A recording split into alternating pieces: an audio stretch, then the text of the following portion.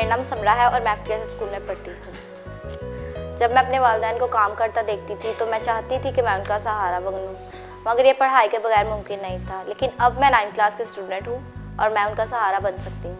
शुक्रिया पाकिस्तान, शुक्रिया मेरा। आपकी मदद किसी की ज़िंदगी बना सकती है। अमले दानिश का साथ दें